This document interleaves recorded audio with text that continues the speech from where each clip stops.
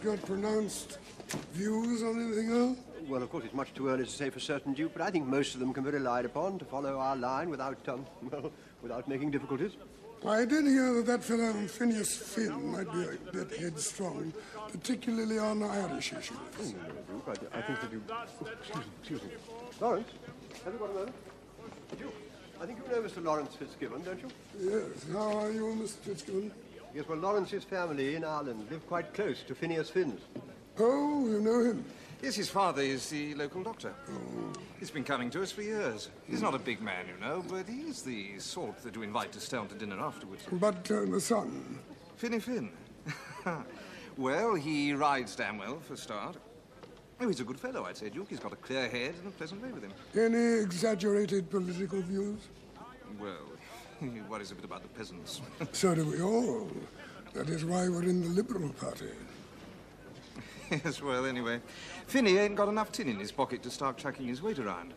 I think I understand. Thank you, Mr. Fitzgibbon. Bye-bye for now, Duke. From what I hear, Mr. Fitzgibbon hasn't got much tin either.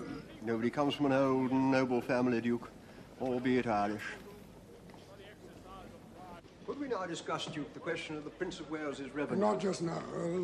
Well, Palliser, how are you settling in again? Well enough, thank you, Duke. As you've no doubt seen for yourself, things are going on very well for us. Yes, I had dread in Switzerland. The government's very well established. And there have been some very interesting developments in fiscal affairs. I would add that we're all very pleased with the performance of the, um, well, the new Chancellor. So I understand. Well, I shall take the opportunity of reading up all the new developments in the research. Back to the grindstone, eh? The same old Palliser? And it will, of course, be necessary for you to acquaint yourself with all the new faces.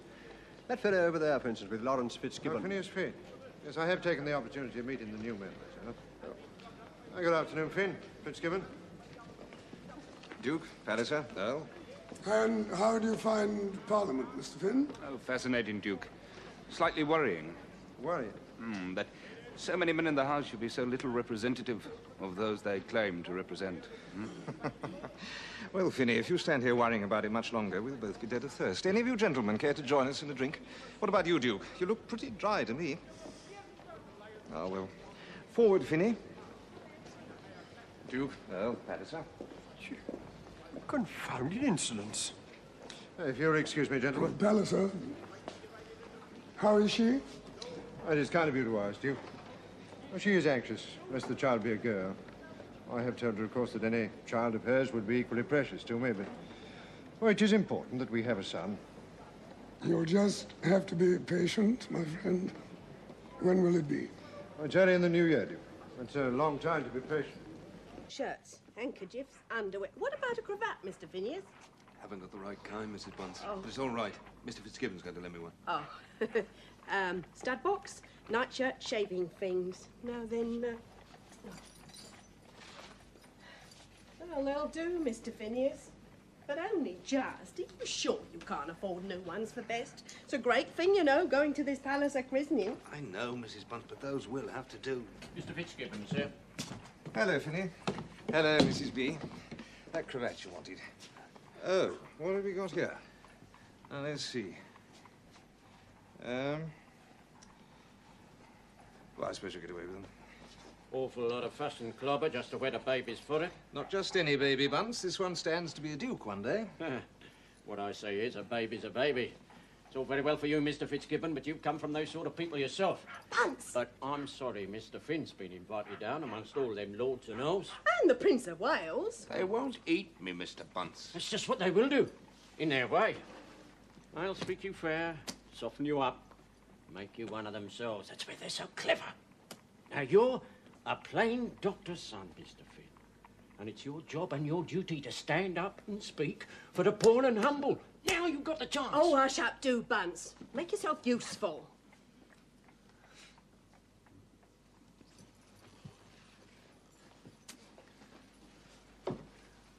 Thanks very much, Mr. Bunce. Him and his politics and his unions, he's enough to spoil anyone's pleasure. Now remember, Mr. Phineas, you have a nice time, and I shall want to hear everything what happens. Yeah, I'm sorry, Mrs. B. Look at this rate. We'll miss the train to Matching. Now, the truth is, old fellow, um, you do live rather out of the way.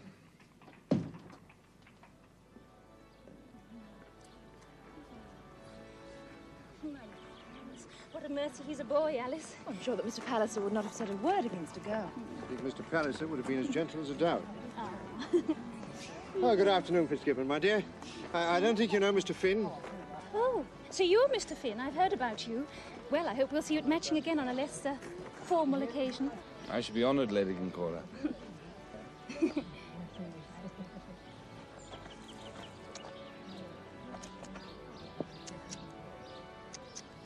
Very charming. Not as charming as my boy. Mm, Little beauty. Yes, you are. Well, now, Finny, my lad. I bet you never saw so many bishops to christen one baby. I'll be blowed if I know why the palace has asked me. Phineas Finn, the penniless barrister from Ireland. yes, well, they didn't invite him, Finny. They invited the brilliant new member of the House of Commons. I haven't even made a speech there yet. No, but you supported plenty, pal, and you've worked hard to impress him. And now you are getting your reward. I don't want one. I support Palliser because he's an honest man. And a rising man, Finny, though he has had his setbacks lately. And one day to be Duke of Omnium. But he'd sooner stay in the Commons. Well, he won't have any choice when the time comes. Now he'll hate it. Yes, but Glencora will like it. She's as good as 20 duchesses already. Ah, but when Planty's the Duke, uh, then the little chap will be called the Earl of Silverbridge, and his mamma will enjoy that. Hmm? You wait and see when the time comes. Before any of it can happen, the old Duke of Omnium must die. He's still very much with us, as far as I can say. I do believe, Madame Goesler, that His Royal Highness was rather taken with you. But not I with His Royal Highness, I fear, Duke. Treason, treason, Madame Max. No, no, Duke. The Prince presumed, and no one in his position should do that. He presumed only to smile at you. Surely a prince may smile at a pretty widow. His smile was for a merry widow, Duke. And the Prince is a married man. A married man may surely flirt. Do you never flirt, Madame Goesler? Never at christenings, Duke. Hello, Lawrence. Hello, Finn. All eyes on the Duke of Omnium, I see. Oh, he's grander personified. Hmm. The Duke is fallible. Who's that striking woman with him? Well, that's his new discovery. Madame Max Goesler, a Jewish widow from Vienna. Goesler. Excuse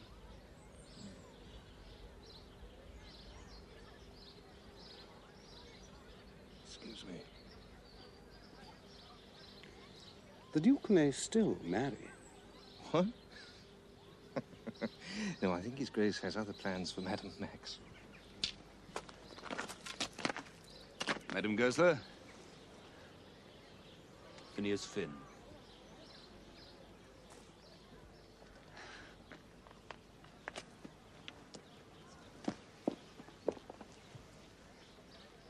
Who asked him to introduce himself? Damned insolent. I must say, Finn seems to get on well, particularly with the ladies. Ah, Finn. I'm not sure whether you know Lady Laura Standish. Oh, yes, Duke. Mr. Finn and I have met several times. Just look at Laura Standish.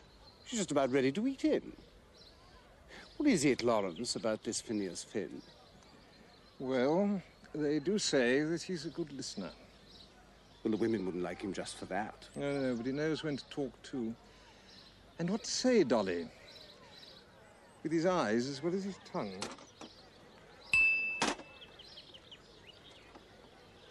Six months ago, even three months ago, the government was set fair and everyone thought the world of the Chancellor. Now the Chancellor's been shown to have done his sums all wrong. Hmm. The government may go at any minute. Well, come to that, how long do you give the government, Barrington? Uh, it isn't for me to say. What about you, Duke? I, too, must be discreet. Well, I shan't be. I'll lay ten sovereigns at even money against the present lot lasting another week. Kennedy, what do you say? I never bet. But you do have an opinion, I suppose. It would be premature to express it. You don't think the country might prefer a change? The country will be getting one, my dear. No, I meant a complete change. From our people to the Conservatives. Oh, there's no question of that. We may well have to rearrange the cabinet, but I see no need to go to the country for a good while to come. And yet, to do so might be a gesture that would win us public support. Hmm? I don't approve of gestures. And you, Phineas, cannot afford them. Who knows whether Lord Tulla would still let you have the seat for his borough? They do say that he wants it back for his brother. Believe me, gentlemen, there will be no general election. Nevertheless, we must get busy. If the government does fall, there are certain things that we must be all agreed on. Uh, well, Kennedy, we'll go along, I think, and find Palliser. I suppose you'd better come too, Fitzgibbon. Lady Laura. Come, gentlemen.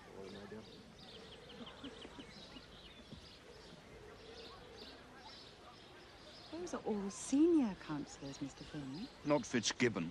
Oh, even Mr. Fitzgibbon's been in Parliament some considerable time. And he comes of an influential family. You mustn't hanker, Mr. Finn. You've done very well to be in the House at all. It's not every man who can get there when he's still in his twenties. I'm only there during Lord Tulla's pleasure, as Barrington Erle has been kind enough to point out. Oh, you needn't mind that. Barrington's a cousin of mine. I know he thinks well of you. So do we all. All of which will not stop Lord Tulla taking away my seat for his brother. Oh, you Irish, Mr. Finn, are a deal too fond of self-pity. A young man with your abilities may find other patrons than Lord Tulla. He'll only be patient and make himself agreeable. As I see it, the situation is this. Although the present Liberal government is failing, there need be no election, provided we can find representatives that the country trusts. Now, gentlemen, let us consider whom we all here think we can trust.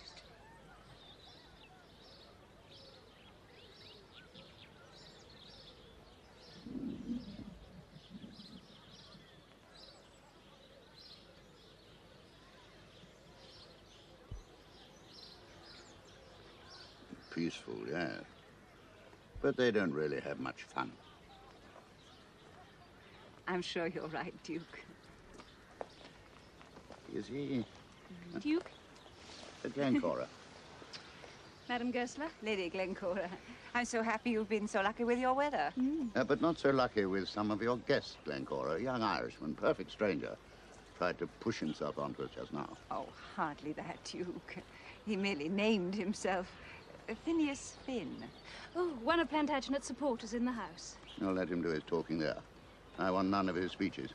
Least of all, when I have such charming company. Well, I shall do my best to see that your grace is not disturbed again. Thank you.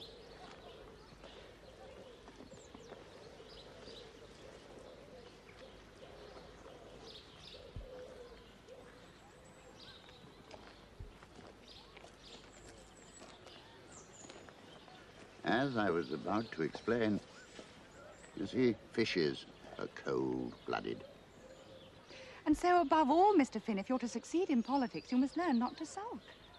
I never sulk, Lady Laura. You're still sulking at this very moment because you weren't asked to join the Duke of St. Bungay and the rest. What do you expect after only a year? Seat in the cabinet? I'd fill it better than that stick Kennedy. Mr. Kennedy has sound opinions and considerable influence. It can be of use to you if you try to stand well with him. You wish me to try, Lady Laura? I wish you to succeed, my friend, in this and in all things.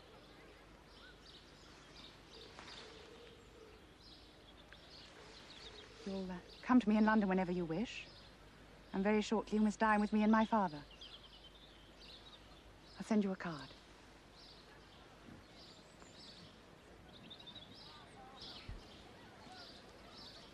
I never really had any faith in him. Didn't think he'd stay the course. What do you think, Kennedy? No, on the contrary. Duke? Thank you.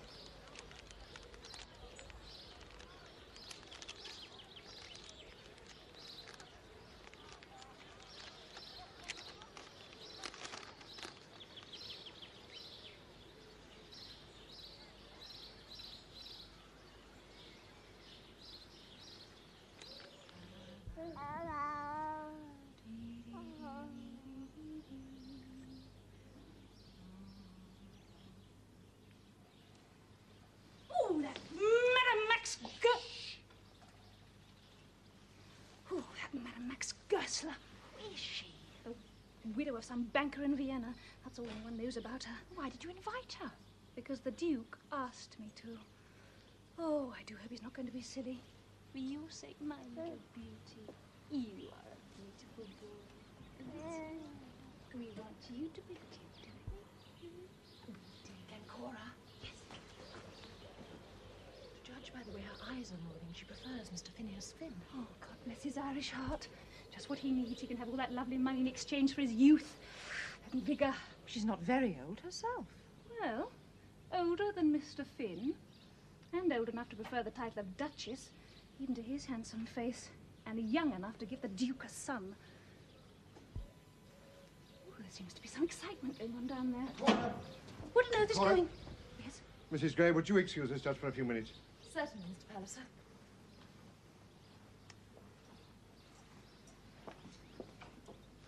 Is. My dear, there is to be a change of ministers. Her Majesty has called for Mr. Mildmay, and we all go back to London tomorrow. But what about Little Pla... They're not going to ask you to take the exchequer again, are they? I don't know. Even the Duke of St. Bungay doesn't know. But they wanted you so badly last year. And I refused them. Cora. Cora, it is a great thing. And it may not be offered again.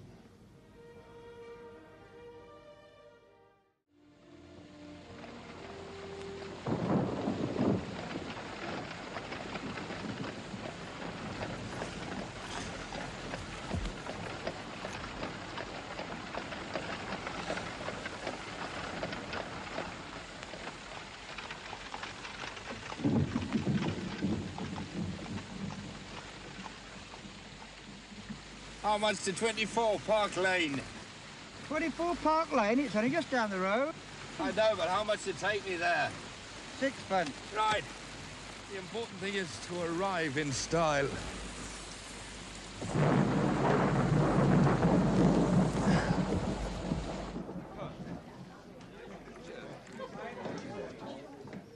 My ah. dear, Plenty will think we're sweethearts. we are. So now you know. Oh, dear.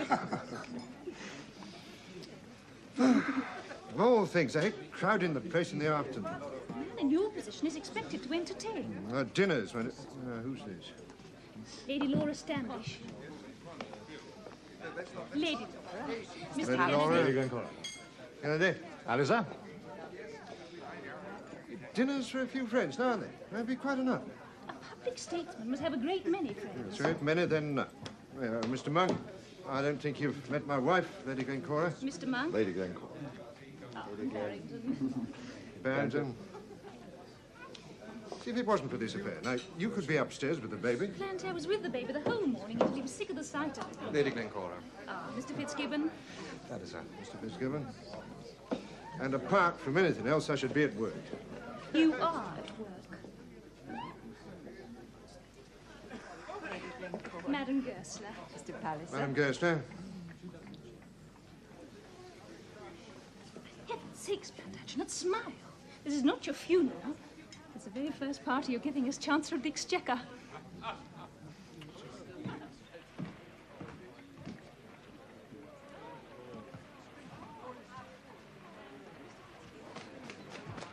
Mr. Finn?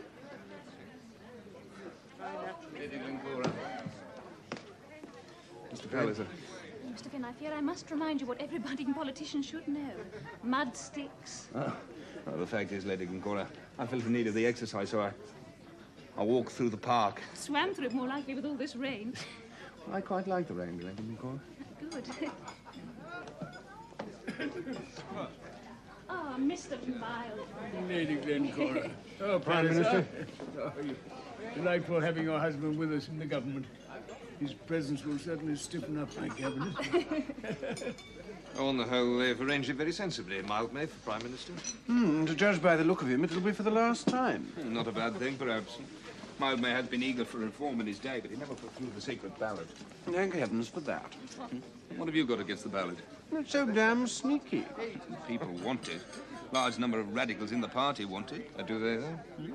Well, there's Mr. Monk over there. Now, he's radical enough for ten. He wouldn't touch the ballot with a barge pole. Nor would the Duke of St. Bungay. What about Planty Pal? Hmm? All Mr. Palliser is interested in is his tenpenny shilling. Most rewarding. ah, my dear. Well, Planty, Charming to see you. what will it be like being Chancellor under Mildmay? Hmm? He won't interfere with me very much. He won't encourage me very much. Ah, Mr. Mildmay comes from a generation that takes money for granted. Well, he might not be too pleased to wake up one morning and find he lost two pennies out of every shilling. oh, Mr. Kennedy, uh, we were just talking about Mr. Palliser's ten-penny shilling. How do you suppose it will be received? On its merits, Lady Glencora. Yes, but what are its merits? In the first place, Glencora, it'll make for simpler calculation. Very likely, Palliser. Myself, I am more concerned with monetary values rather than with monetary measures. Tea. Thank you. Smile. The man has absolutely no imagination, that's why. Barrington, why haven't they given Kennedy anything? After all, he's right behind this government. He refused to accept office, although he supports us. He likes to preserve his independence. Sure, he'd pull his money out from under him, he wouldn't find much independence. Uh, Barrington, could I... Mr. Monk, Fitzgibbon, though, was saying you wouldn't support the secret ballot. That's not true, is it? Yes, one thing at a time, Mr. Finn. We must broaden the suffrage first. Excuse us. I told you um, he was against it. Hmm. Only for the time being, I think. Tell me, Barrington, what do you make of that young man? He's in a hurry, is Master Finn. Yes, I suppose so, but he's Irish, and the Irish always like to ride fast. But I like a man to ride a straight course. So he may do. One thing at least is certain. Phineas Finn has got bottom. Phineas Finn has got what? Bottom, Palliser. An equestrian expression for a determined rider. Oh, indeed. Well, surely a lot depends on a man's mount. Uh, what has Finn got to carry him on his way? Brains and charm. Yes, but no money, that's for sure. Although he could find some, if he chose to look about him. I must say, Lady Glen's put on a damn good show for her first do in London. Asked all the right people, too. Rather too much cake, though. I must tell her to get more sandwiches. Mr. Longstaff? Madam Max, and I'm sure you remember. Yes, of course I remember. Phineas Finn. well, gentlemen, here we are back in London with a new government and great things to be done. Not too many things, I hope. Oh, for shame, Mr. Longstaff. We are all reformers here. Mr. Finn is burning to do great things, are you not, Mr. Finn?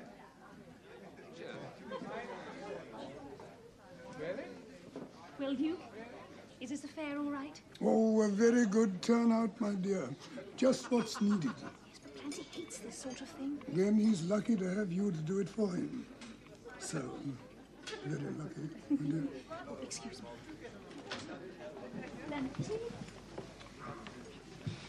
Uh, dear, I have some work to do. I've already told you you are. Well, in that case, why do we have to invite uh, Madame Gerst? The Duke of Omnium. He asked me to be civil to her whilst he was away on his tour.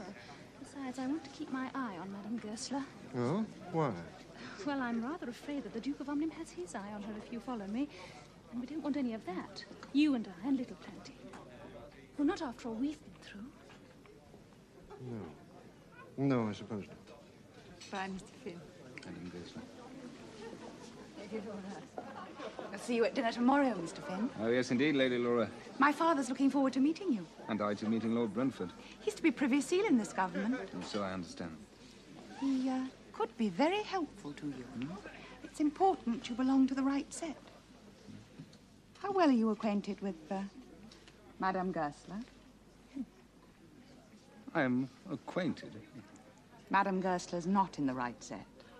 She is here, Lady Laura. Lady Glencora may know whom she pleases. Young members of Parliament may not.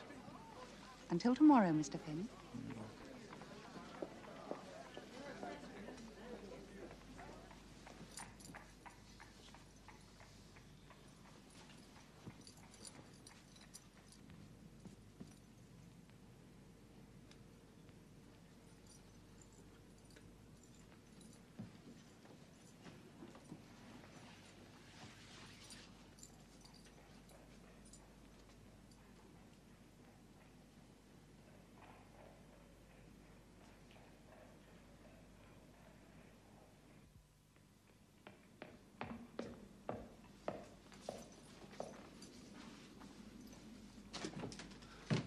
Oh, Mr. Phineas, I've just made you some beef tea.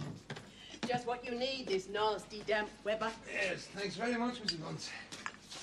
How did you get on at the party then? I learned a lot, Mrs. Bunce. I learn more every day, I think. Oh, I dare say you do. With all those Parliament gentlemen and their grand ladies too. But um, you won't go learning too much, Mr. Phineas, now will you? How could I learn too much? Well, might learn to forget where you come from. And the ones who are waiting for you there when you get back. Such a pretty little face. well, good night, Mr. Phineas. Good night, Mrs. Bunce. Thanks.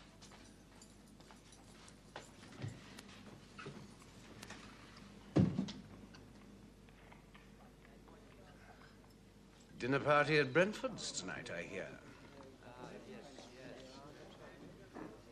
Why ain't you there, Barrington? Yes, well, You were as always a favourite of Lady Laura's.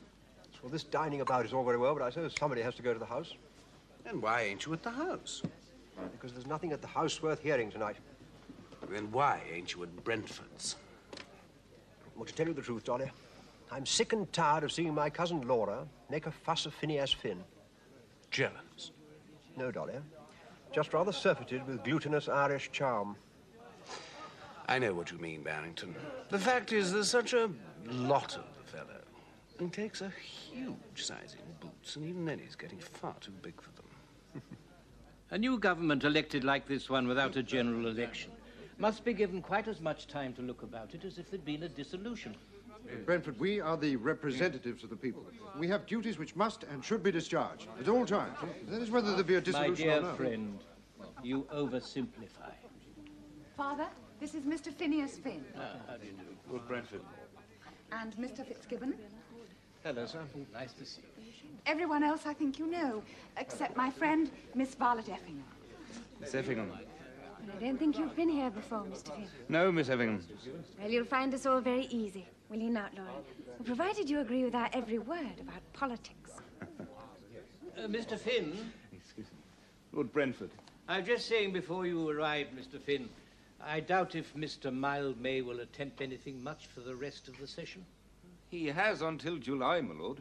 A useful period for consolidation. By which you mean sheer idleness. And now Mr. Palliser has at least 20 schemes for financial reform, all of them uh, mature. Cora. Uh, and unless you let him bring in some 10 or 12 of them at once, you break his heart among you. I'm sure Mr. Palliser can bide until next February. Eh? Mr. Palliser will burst before next February. The truth is, you all of you spend far too little time in the house.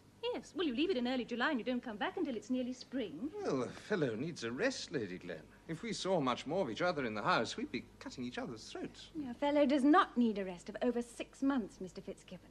But think of all the legislation you could compass in an autumn session. Uh, sitting in autumn, uh, how do you expect gentlemen to be absent from their estates at that time of year? I think Miss Effingham is right. A lot could be accomplished in an autumn session. You know, that's the fault of you young men. You're always wanting to accomplish something. Oh, I can't say I've noticed it. But the men in the house seem to me to be exactly like sheep. Well, they're perfectly content to, to loiter through the same gate into the same field and munch the grass until it's time to loiter out again. The comparison has not always been held invidious, Miss Effingham. The greatest of all our masters called us his flock. Much must depend on the shepherd. Now, I understand that Your in lordship. Brooks Club they are saying... Dinner is served. Lady Glencora, may I have Miss Effingham? I understand that at Brooks Club they are saying we shall have a majority of 49, which would, of course... Reform, they say 47. In either case, a rich flock for the shepherd. You need only pin them securely and guard against the wolf. Then, when he has seen them well fed and healthy and full of grace, he can lead them forth next February. Provided they haven't grown too fat in the meantime to move.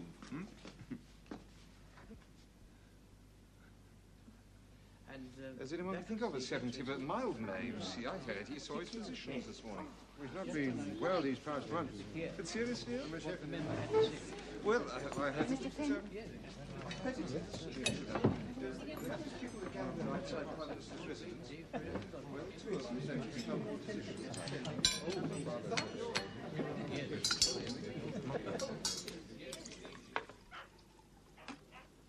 Very nice, my dear. And out to do with a mouthful of cheese. Oh, you could, could you? Yep. Well, there ain't none. Why not? Because the money that would have bought it has been given away, Mr. Bunce. Given away by you to that dratty trade union. Oh, and it pays a shilling a week. Yeah, well, that's a shilling a week less to feed your belly with. You can't have it both ways. Mr. Finn keeps getting beef tea. Yes, what he pays for as a lodger. Yeah, and he don't pay so regular neither. Oh, never you mind about him. He pays regular enough, Mr. Finn does. Anyway, don't go fraying his money away on no trade union. You'll be hearing about them before long. They all will. That Parliament lot. Oh, do hold your silly tongue, Bunce. Leave all them politics to your betters. Like your uh, precious Mr. Phineas, I suppose. Don't you go sneering at him either. He's a good, kind, gentle boy. And he's made his own way to where he is. Yes, he's made his own way fair and square. So far. But it all depends, my dear, on what direction he takes now. Does he do his duty and follow his conscience? Or does he just go dining and whining about the Lord of this and the Marquis of that and clean forget what he's in politics for? Been no particular report. No. I tell you why, I would like some preliminary discussion at Decimal Council before the end of the session. Well, as Chancellor, you'll have a lot on your hands. Perhaps after the launching of the new reform bill. Timing on a measure of that kind is going to be crucial. Ah, that is indeed. I think you might be well advised. Where do you stay in London, Miss Effingham? Oh, in this house as often as not. You see, Mr. Finn, I am an orphan. My father was a dear friend of Lord Brentford's. Ah, Lord Brentford is your guardian, perhaps. No, unfortunately not. No, my guardian is an aunt. When she decides it is time to disoblige me, she'll come up to London and insist that I stay with her. A dragon indeed. And where is St. George, one asks oneself. Hmm? Still in his tent, Mr. Finn, preening himself in his armor. Mr. Finn's getting about a bit. He has a way of making himself agreeable. So I've noticed. Very clever at spreading himself about. Well, they do say, Lady Glen, that the men don't care for the favour half as much as the ladies. Well, if you'll excuse me. Mr. Finn, I'm sure you didn't mean it, but before dinner you were uncourteous to Mr. Kennedy. Merely a pleasantry, Lady Laura. Very neatly delivered. Mr. Finn is a rising man, Violet, and has less license than others. Oh, Mr. Kennedy could be very helpful to you. It's my intention he should be. Your pleasantries don't help me. No. It's her brother. Why are you here? To ask you about the money. It's being arranged as quickly as possible. You know that already. I'm to see Violet. Very well, but please be gentle with her. This is Mr. Phineas Finn, Oswald. My brother, Lord Chiltern. How do you do, Mr. Finn? Lord Chiltern. Violet. You look very piratical tonight, Lord Chiltern. That is because you see me by the side of all these smug, glossy Parliament men. But perhaps you are a Parliament man, Mr. Finn. Oh, yes, I am, but don't mind me. Well, I dare say there are honest men there, and you could be one of them. Oh, he is indifferent honest as yet. I was referring to men who go into Parliament to grovel for government places, Violet. Well, that's exactly what I shall have to do, Lord Chiltern. After all, even the Irish members must eat. Well, I don't see you groveling. Well, not that quite, perhaps, but as Lady Laura has just been pointing out to me, a rising man must watch where he places his feet. And keep his hands free for grabbing at office. Well, I shall certainly seize any that comes my way. Why should not a man serve the crown? He has to work hard for what he earns. I don't believe the most of you work at all. Have at him, Mr. Finn. I'll do better than that, Miss Effingham. I'll convert him, if I can. And if he does come into the house, Lady Laura, I trust he'll come in on the right side. I shall never come into the house, as you put it, Mr. Finn. But I suppose I shall have to hear your side of the argument. Tell you what, Phineas Finn from Ireland. I'd be very pleased if you'd have dinner with me tomorrow at Moroni's. Tomorrow? Oh, I'm engaged. Oh, no, that's the night after. Yes, I'd be highly delighted to have dinner with you tomorrow, Lord Chiltern. Good. Eight o'clock. Violet. Whatever other men may think of Mr. Finn's flavour, Lord Chiltern likes it well enough. Well, Chiltern always likes the Irish, Lady Glen. So many of us match his tastes in violence and drink. See, he nearly killed a man. I have something very important to say to you. Come with me to the library. Oh, no, not tonight, Lord Chiltern. Come with me. Oh, no. Oswald, let it be, please. Good night, Laura. Let me know when something happens about the money. Good night, Mr. Finn. We children shall have a capital dinner tomorrow at Moroni's.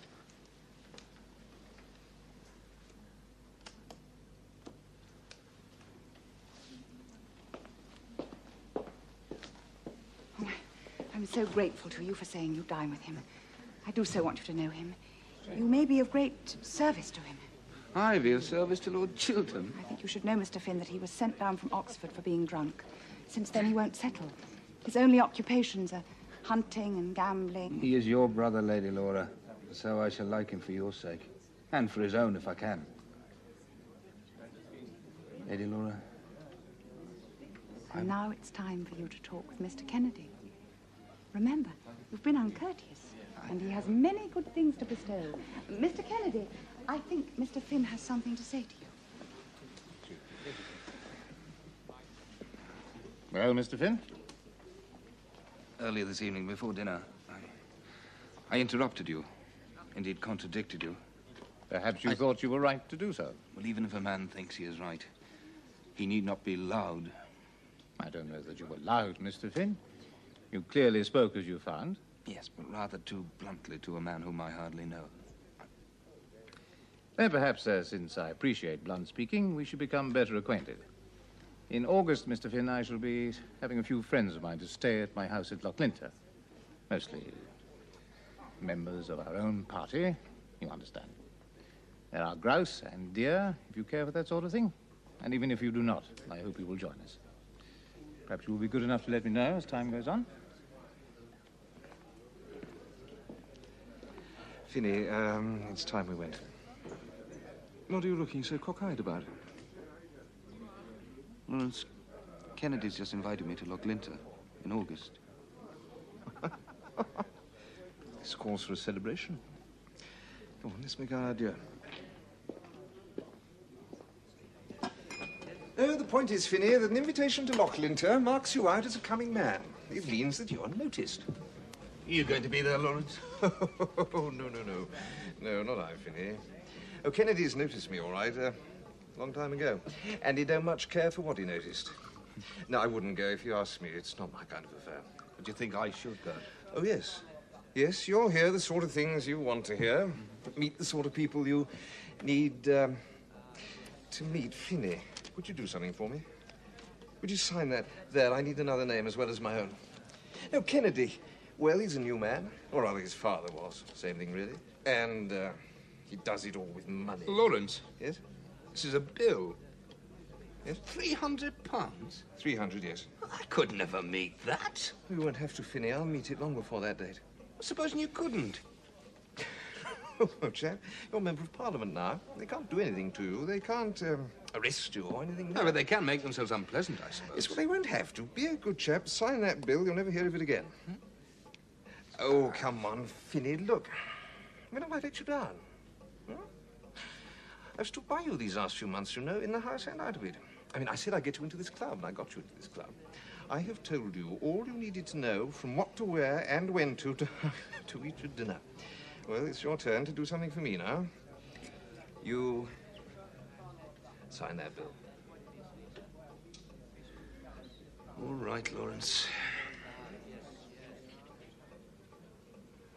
Ah, that's my Finney. Now you go home and dream about Loughlinter. It's new and it's rich, Finney, and it's as powerful and as vulgar as the money that built it. Well, it's all the things, in fact, that can make you into the man you want to be.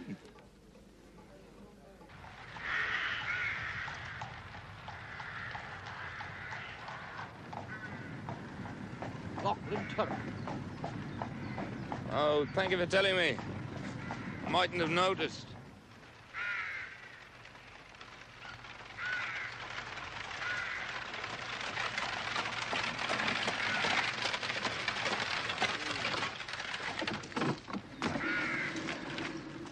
Mr. Kennedy's expecting me. Mr. Finn. The laird's on the hill, sir. By the folly. And, uh, Lady Laura Standish. I believe uh, she is with him, sir.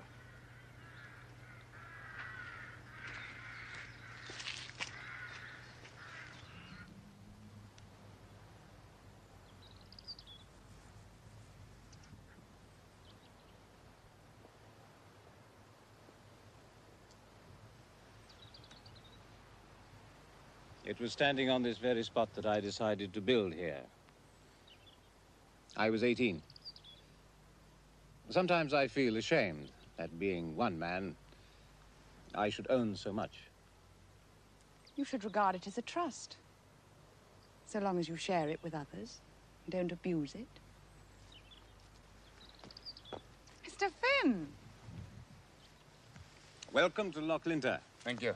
You've been very quick to find the most beautiful spot we have here. I was keen to look around as soon as I arrived. It's all very beautiful. It's magnificent. You're very fortunate. I suppose so. And yet, I was just telling Lady Laura, sometimes I find it unnerving to have so much space to myself. It makes me feel set apart from common humanity. Perhaps it is better for us to live in cities, to remind one that one is a man like any other. But I must see the factor before evening. I trust you, Mr. Finn, to bring Lady Laura safely down.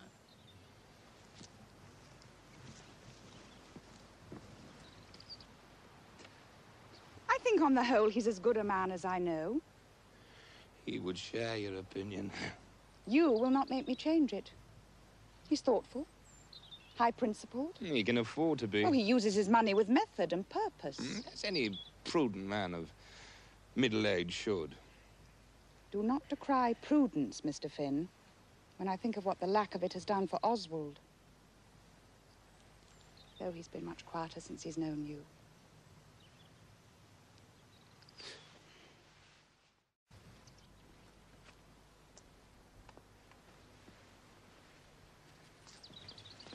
Oswald tells me he hopes you'll travel with him this autumn. Mm, I'm afraid I'll have to disappoint him. To be honest, I haven't got the money. I like your honesty, though I'm sorry for Oswald's sake. And I sympathize with you in your situation. For myself at this time, a ten-pound note would be riches. Never mind. While we're here, we can think ourselves as rich as Mr. Kennedy himself. At this moment, I count myself far, far richer. Laura, time to go and change, Mr. Finn. I'm afraid you will find my politics very trying, Mr. Erle. On the contrary, Madam Max, I find your ideas most um, stimulating.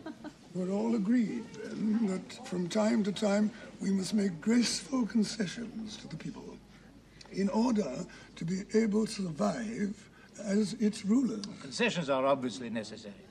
The question remains, however, how much in the long run shall we have to concede? Yes. Brentford, how much? Enough to keep the people contented and obedient. I would have stopped at contented. How much is that? Well, some would say everything. The British people have never been greedy, as provided its masters are open-handed. Bread and circuses, Palliser. Oh, Max, bread and butter, isn't it? And jam, well, it is fairly earned. People want more than jam, they want justice. Which means making men and women all equal. You've grown very advanced, Lady Glen. Yes, well, I've, uh, I've been getting it all up. Ask Mr. Monk. Uh, Mr. Monk, if we liberals really mean what we say, then is not equality the basis of our political theory? Even in your charming company, Lady Glencora, I dare not go as far as that. That's because you're in the cabinet and you must be discreet. Let's ask Mr. Finn. yes. we liberals may lessen inequality by lessening differences in wealth and privilege, but that only applies to material things. You can't bring down a noble nature to the level of a base one, nor can you raise a coward to be a brave man. You're becoming quite the statesman, Mr. Finn. That's mate, I think. A fine example of Sicilian defense. It's growing cold out here, I fancy. Shall we move indoors? I don't want to catch a chill. thank you, Mr. Finn. This keen Scottish night air, like champagne. I agree, Finn, with what you said. Equality can only be achieved in material terms. But it does not do to hurry the process too much. This coming from you, Mr. Monk. Yes, Finn, from me. If a person gets too much too quickly, they become confused. Result? Chaos. Just as well for Lady Glencora, perhaps. Gives her a chance, despite her advanced theories, to hold on to her wealth for a while. Uh, Mr. Finn wants it always. He's anxious to enjoy the benefits that the party can bestow upon him, and yet he is reluctant to accept the discipline upon which we must insist. He is young and restless, Mr. Erle. I think you will find he will settle down.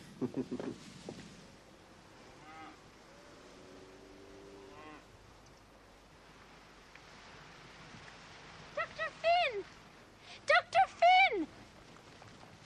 Dr. Finn, Ah, good day to you, Mary. what news? What news of Phineas, Dr. Finn? Has he not written to you, Mary? Not for some time. I, I read in the paper he was going to stay in some castle in Scotland. Oh, aye. Loughlinter. The Chancellor of the Exchequers there, Mary. Another big man. And ladies? No, well, no, I wouldn't be knowing about that, Mary. Now, Phineas is there for the politics, I think. A lot of the politics is done away from Parliament, you know, in great houses like this one. It's good that Phineas is asked there. He'll make important friends. Has he no friends here in Ireland, then? Oh, no, he'll be coming home here soon enough. And then for the whole autumn until Parliament begins again in February. Will you be pleased to see him, Mary? Yes. But will he have changed at all? Well, he'll know more about the world. He'll be having some news to tell us. We could do with hearing something new in Killaloe, now could we not? We do very well as we are, I think. If you write to him, Doctor, tell Phineas good wishes from Mary Flood. Oh, I'll not be writing to him again before he gets home, Mary. You may give me your wishes then. Welcome. Come on, boy. Come on. And so I had the problem, Phineas, whether to accept office when it was offered to me this time, or to remain independent. Independence, if you can afford it, must be very pleasant. Independent opposition are all fine things. But I took office because only in office can a man get his ideas through. Mr. Mark? Oh, Mr. Finn, at last. You have neglected me most cruelly since we have been here. I'm sure I didn't mean to, Madam Max. Uh, excuse me. This is all so new to me. There's been so much to do. And to look at? it's all right. I understand. I forgive you. But our time at Loughlinter is nearly over now. Where do you go from here? To Ireland. To my parents at Killaloe. I go to Vienna. I have business there, you see. Austria is very beautiful in the autumn, Mr. Finn. Have you never thought of traveling further than Killaloe? Oh, I have. To Italy, perhaps? Then north to Venice? Perhaps on to Vienna? I had thought of doing something of the kind with my friend, Lord Chiltern, but I haven't got the money for it. Ah. Mr. Finn, might I perhaps... I must beg you to excuse me, Madam Max. Lady Laura.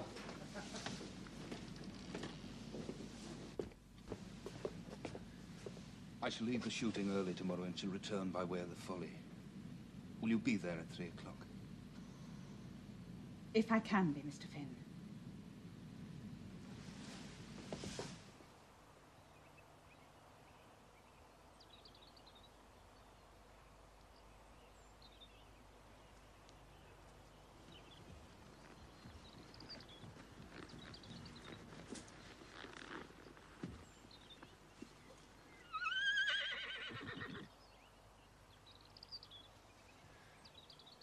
Very prompt, Lady Laura. So are you, Mr. Finn.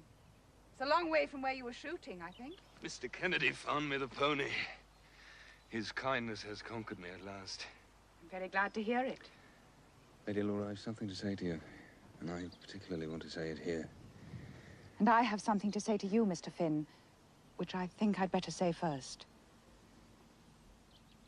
Last night I accepted an offer of marriage from Mr. Kennedy. Kennedy.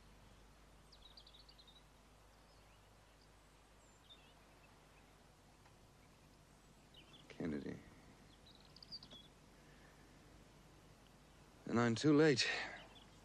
Mr. Finn, won't you wish me joy? Only wish me joy, and all will be pleasant between us. I've been a child wanting the moon. I was foolish enough to think you loved me. And why should I not have loved you? Listen a moment, Mr. Finn. A few weeks ago, I paid Oswald's debts. All my own money's now gone. And I've had to make up my mind that I can't allow myself the freedom of choice that would otherwise have belonged to me. Do I make myself plain? How can I answer? You can tell me that from now on, I may regard you as a dear friend of my own and of my husband. Husband? Stop, Mr. Finn. I'll not have you unkind to me or uncourteous to Mr. Kennedy.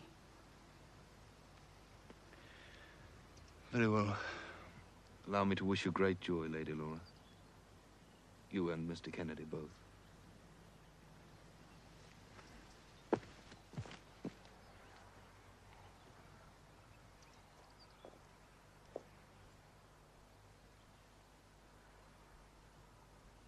Tomorrow I shall return to Ireland and stay there till Parliament resumes in February.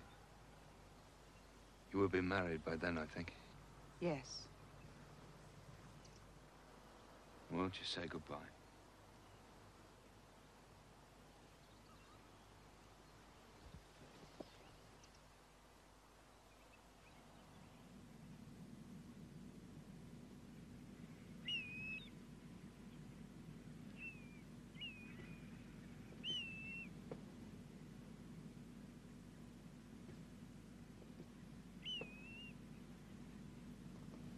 You are thoughtful, Laura.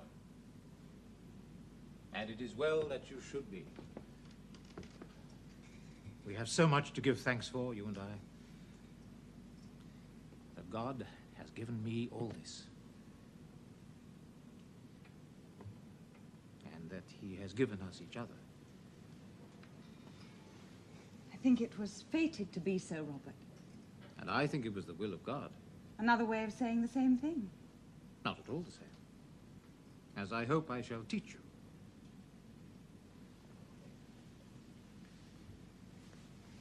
Laura, Mr. Finn was anxious to leave the shooting early today to see you, he said. And you very kindly found him a pony. It was about Chiltern. And what was there to say about Chiltern? I was able to comfort Mr. Finn, to reassure him, that is, that all is now well with Chiltern about money. Need that concern Mr. Finn? Well, Mr. Finn's been a good friend to Chiltern. I owe him confidence and gratitude. And as you love me, don't you owe him the same? As you wish, Laura. Certainly, he's made himself agreeable during his stay here, and he shows promise for the future. We think it's so good of you to come to see us again. When you might have been staying at one of those grand houses. and with all of those grand ladies. Phineas, who is Lady Laura Standish? Why do you ask that? My mother said That my mother said. What? that you have often written about her. Lady Laura Standish, Mary, is a very dear friend of mine who has recently married a very wealthy man called Robert Kennedy. And you didn't go across for their wedding. I haven't got the money, Mary, to be flitting to and fro to other people's weddings.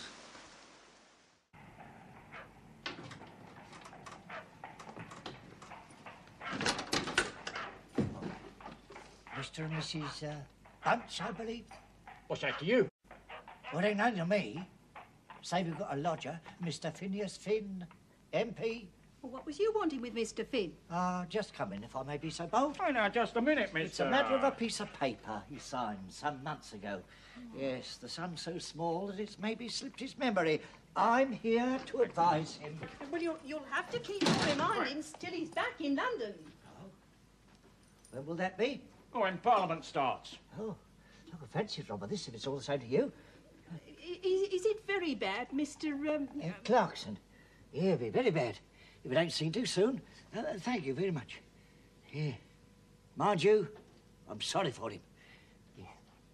Mr. Clarkson, look here. I...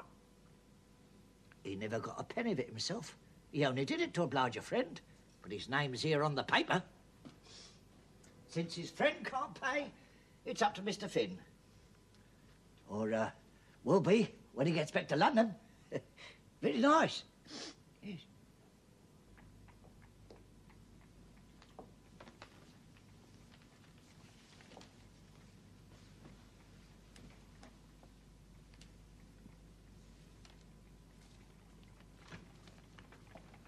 Mr. Phineas Finn. Finn. Mr. Finn, here we are, an old married couple since you last saw us. You're looking very well on it. I congratulate you both most heartily. You really are a very lucky fellow. Thank you, Finn. Do sit down. Thank you. We both wish you to know that no house of ours will ever be so full or so empty that we shall not welcome you. Thank you.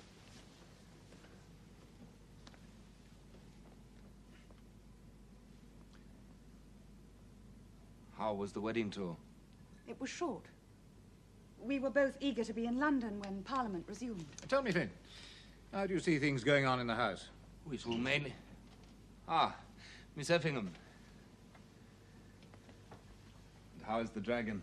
Oh, my Aunt Baldock is still devouring the people down on her estates, so I am free to stay here. I suppose it's settled, Mr. Finn, uh, we're to have a reform bill Oh, yes, that's a matter of course. and the ballot. Oh, Mildmay will never agree to the ballot. Neither will Palliser nor the Duke of St. Bungay. But uh, Mr. Monk, Mr. Monk, too, is opposed to it. But only for the time being, I think. And where do you stand, Mr. Finn? On this, as in everything else, Miss Effingham, alongside Mr. Palliser and Mr. Monk. At the moment. Supposing they should disagree with each other someday. I suppose that is a possibility. I fear I have an appointment with Barrington Erle. oh, but uh, Mr. Finn shall stay and talk with me. Of course. Well, I too have some things I must attend to. Excuse me. And how is Lord Brentford? Oh, lonely, I think. I go to him when I can, but uh, he doesn't come here. He doesn't care much for this house. If he's lonely, he'd best make it up with old Chiltern, hmm? He might even do that. I know that if Oswald would marry Miss Effingham, who's always been my father's favourite, Papa would forgive him everything. And how does Lord Chiltern feel about this? He's loved Violet since he was a boy. Yes, she's certainly very lovable. Yes, Mr. Finn, to my brother, she's very lovable. Oh, I hope you'll be seeing something of him. Well, Finn, it's good to have you back. Now the weather's changed, I'm off to Willingford to hunt. Good, healthy occupation. Hmm? Man must do something. Why don't you join me down at Willingford just for a few days? Oh, I don't know. Come on, you Irish fellows always ride. I don't know, Chiltern. Don't worry. I can mount you, you know. Now, Laura's been kind enough to put me right over money. Yes, she has. She has been very kind. Only trouble is, how will she ever get it back? She can hardly need it now, now she's married to Kennedy. Her money, she ought to get it back. Maybe Lord Brentford would help. My father! To hell with him. Funny thing is, you know, Finn, that Laura says the old wretch could still come right if I marry Vi Effingham. Of course, Vi has a very large personal fortune of her own. So, I- so I understand. Although I'd accept her tomorrow as she stands, without a penny. Vi is the only girl I ever did like. Thank you so much for my nice lunch. It's good of you to come, my dear. I know this house is a dull place now. You should come to Laura more often. I'd come to Laura as often as she likes, so long as she'll keep that canting husband out of my way. Sure you don't want the carriage? Good afternoon, Lord Chiltern. Oh, no, no, I'd much sooner walk. Then I'll walk with you, if I may.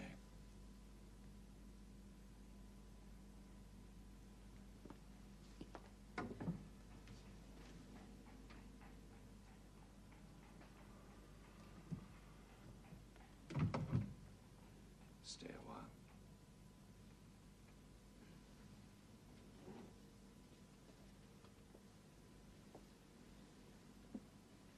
I find that your father has aged since Laura's Of course he's aged.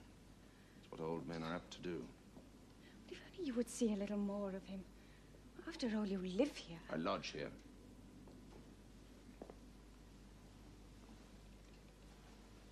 Tell you what it is, Violet.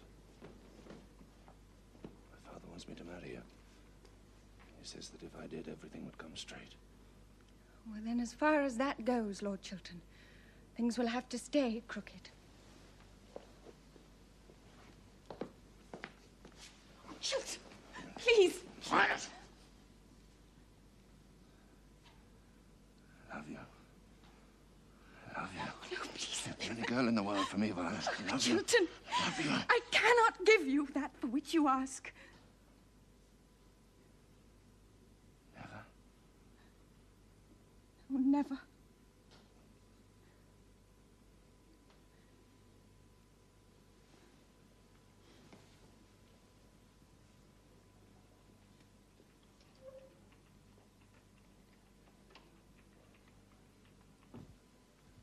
So, Mr. Speaker, sir, let me conclude by urging that urgent although reform may be in certain fields, on the... Oh, urgent and urging is no. So, Mr. Speaker, sir, let me conclude by urging that... uh, Pressing although reform may be in certain fields, Don't you forget Mr. Turnbull and the People's Banner. Good night. Pressing although reform may be in certain fields, Bunce! Bunce! Leave Mr. Phineas alone. He's trying to prepare his maiden speech. I don't care what he's doing. He calls himself a radical. I'm going to radical him.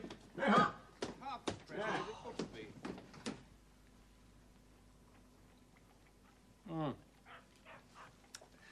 So, Mr. Speaker, sir, let me conclude by urging that imperative, although reform may be in certain fields, on Not the bad, question... Mr. Finn. Imperative. Ah. How about overdue while you're about it? I'm very busy now, Mr. Bunce. uh, I don't much like the sound of that word, although. Sounds as though you're after reasons for delay. Delay in some reforms, certainly, Mr. Bunce. Ah, like the ballot, I suppose? Possibly. Now, on behalf of the labouring classes, I'm warning you, Mr. Finn, that unless Oh, you- Parliament goes you're-. You're, you're what, Mr. Bunce? I'm just taking this chance of telling you, sir, that unless Parliament during this next session goes a long way towards meeting the wishes of the people, there's going to be Ah, Mr. Finn, I dare say. Ah, my name's Clarkson. He wouldn't be put off, Mr. Phineas. Oh, no, indeed, no. It's not every day I have the pleasure of waiting on a Parliament jet. Oh, just a minute, mister. What did you say his name was? Clarkson. It's about this uh, little bill what you signed in acceptance of, along with Mr. Fitzgibbon.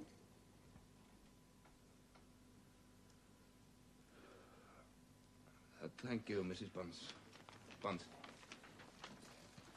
I'll just venture to take a chair, if I may. Uh, now then, let's see. Three hundred pounds. Oh dear. Dear me. December this was due. Here we are nearly in March. Yes, I do like my jets to be punctual, Mr. Finn. Be punctual, I always say it.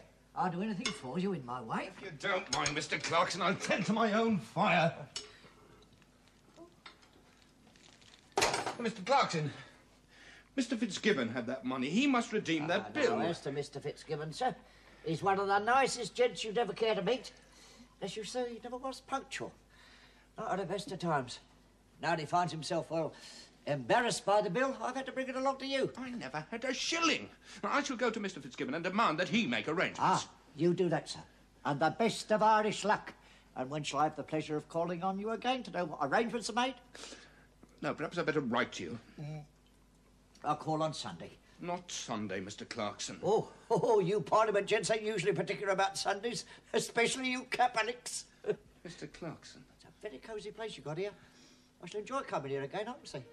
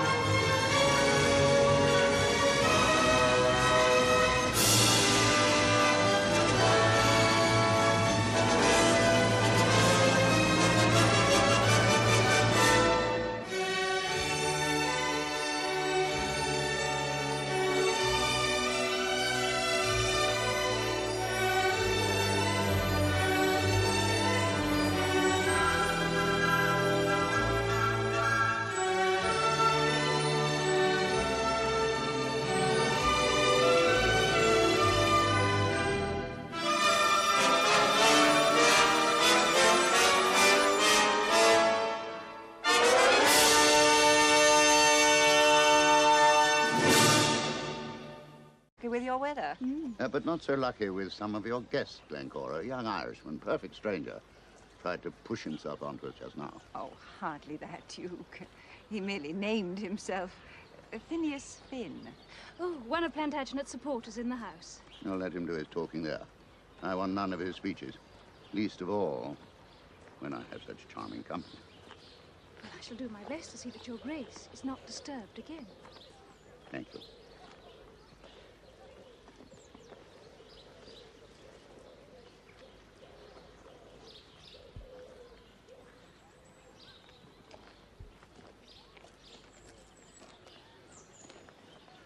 As I was about to explain, you see, fishes are cold-blooded. And so, above all, Mr. Finn, if you're to succeed in politics, you must learn not to sulk. I never sulk, Lady Laura. You're still sulking at this very moment because you weren't asked to join the Duke of St. Bungay and the rest.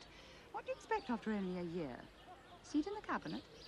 I'd fill it better than that stick Kennedy. Mr. Kennedy has sound opinions and considerable influence. He can be of use to you if you try to stand well with him. You wish me to try, Lady Laura? I wish you to succeed, my friend, in this and in all things.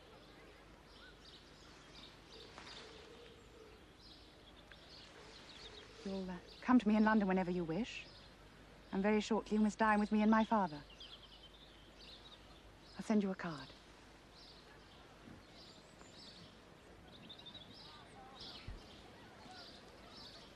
I never really had any faith in him. Didn't think he'd stay the course. What do you think, Kennedy? No, on the contrary. Duke? Thank you.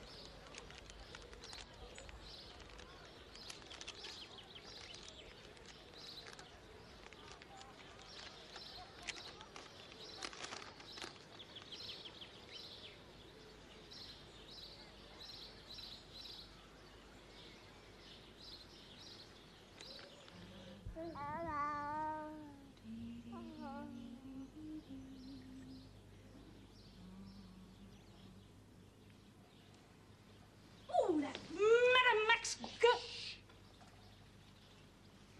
Oh, that Madame Max Goesler. Who is she? The widow of some banker in Vienna. That's all anyone knows about her. Why did you invite her? Because the Duke asked me to. Oh, I do hope he's not going to be silly. For your sake, my little beauty. You are a beautiful boy. And we want you to be cute. And Cora. Yes. Judge by the way her eye.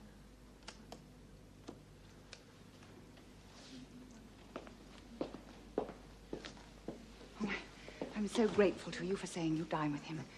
I do so want you to know him. You may be of great service to him. I be of service to Lord Chiltern. I think you should know, Mr. Finn, that he was sent down from Oxford for being drunk. Since then, he won't settle. His only occupations are hunting and gambling. He is your brother, Lady Laura. So I shall like him for your sake. And for his own, if I can. Lady Laura, And now it's time for you to talk with Mr. Kennedy. Remember, you've been uncourteous, and he has many good things to bestow. Mr. Kennedy, I think Mr. Finn has something to say to you. Well, Mr. Finn? earlier this evening before dinner, I, I interrupted you. Indeed, contradicted you. Perhaps you thought you were right to do so. Well, even if a man thinks he is right, he need not be loud. I don't know that you were loud, Mr. Finn. You clearly spoke as you found. Yes, but rather too bluntly to a man whom I hardly know. Then perhaps, uh, since I appreciate blunt speaking, we should become better acquainted. In August, Mr. Finn, I shall be having a few friends of mine to stay at my house at Loughlinter. Mostly members of our own party, you understand. There are grouse and deer, if you care for that sort of thing. And even if you do not, I hope you will join us. Perhaps you will be good enough to let me know as time goes on. Finney, um, it's time we went. What are you looking so cockeyed about? Lawrence, Kennedy's just invited me to Loughlinter in August. This calls for a celebration. Come on, let's make our adieu. Oh, the point is, Finney, that an invitation to Loughlinter marks you out as a coming man. It means that you're noticed. Are you going to be there, Lawrence? Oh, no, no, no. No, not I, Finney. Oh, Kennedy's noticed me, all right, a long time ago. And he don't much care for what he noticed. No, I wouldn't go if you asked me. It's not my kind of affair. But you think I should go? Oh, yes. Yes, you'll hear the sort of things you want to hear. Meet the sort of people you need um, to meet. Finney, would you do something for me? Would you sign that? There, I need another name as well as my own. No, Kennedy. Well, he's a new man. Or rather, his father was. Same thing, really. And uh, He does it all with money. Lawrence. Yes? This is a bill. Yes? Three hundred pounds? Three hundred, yes. I could never meet that. We won't have to, Finney. I'll meet it long before that date. Supposing you couldn't. oh, chap, you're a member of Parliament now. They can't do any sort that you invite to stay on to dinner afterwards. But uh, the son, Finny Finn. well, he rides damn well, for a start. Oh, he's a good fellow, I'd say, Duke. He's got a clear head and a pleasant way with him. any exaggerated political views? Well, he worries a bit about the peasants. So do we all. That is why we're in the Liberal Party. yes, well, anyway. Finney ain't got enough tin in his pocket to start chucking his weight around. I think I understand. Thank you, Mr. Fitzgibbon. Bye-bye for now, Duke. From what I hear, Mr. Fitzgibbon hasn't got much tin either. Nobody comes from an old and noble family, Duke, albeit Irish. Could we now discuss, Duke, the question of the Prince of Wales's revenue? Not just now, Erle. Well, Palliser, how are you settling in again? Well enough, thank you, Duke. As you've no doubt seen for yourself, things are going on very well for us. Yes, I had dread in Switzerland. The government's very well established. And there have been some very interesting developments in fiscal affairs. I would add that we're all very pleased with the performance of the, um, well, the new Chancellor. So I understand. Well, I shall take the opportunity of reading up all the new developments in the research. Back to the grindstone, eh? The same old Palliser? And it will, of course, be necessary for you to acquaint yourself with all the new faces. That fellow over there, for instance, with Lawrence Fitzgibbon. Oh, Phineas Finn. Yes, I have taken the opportunity of meeting the new members, you know. Oh. Good afternoon, Finn. Fitzgibbon. Duke, Palliser, Erle. And how do you find Parliament, Mr. Finn? Oh, fascinating, Duke. Slightly worrying. Worrying? Hmm, that so many men in the House should be so little representative of those they claim to represent. Hmm? Well, Finney, if you stand here worrying about it much longer, we'll both be dead of thirst. Any of you gentlemen care to join us in a drink? What about you, Duke? You look pretty dry to me. Ah, well. Forward, Finney. Duke, Erle, Palliser. Confounded insolence. If you'll excuse me, gentlemen. Palliser. How is she? It is kind of you to ask, Duke. Well, she is anxious, lest the child be a girl. I have told her, of course, that any child of hers would be equally precious to me, but... Well, it is important that we have a son. You'll just have to be patient, my friend. When will it be? Well, it's early in the new year, Duke. It's a long time to be patient. Shirts, handkerchiefs, underwear. What about a cravat, Mr. Phineas? Haven't got the right kind, Mrs. Bunce. Oh. But it's all right. Mr. Fitzgibbon's going to lend me one. Oh. um, stud box, nightshirt, shaving things. Now then, uh... Well, they'll do, Mr. Phineas. But only just. Are you sure you can't afford new ones for best? It's a great thing, you know, going to this palace at christening. I know, Mrs. Bunce, but those will have to do. Mr. Fitzgibbon, sir. Hello, Finney. Hello. Agreeable during his stay here. And he shows promise for the future. We think it's so good of you to come to see us again. When you might have been staying at one of those grand houses. and with all of those grand ladies. Phineas, who is Lady Laura Standish? Why do you ask that? My mother said That my mother said. What? that you have often written about her. Lady Laura Standish, Mary, is a very dear friend of mine who has recently married a very wealthy man called Robert Kennedy. And you didn't go across for their wedding. I haven't got the money, Mary, to be flitting to and fro to other people's weddings.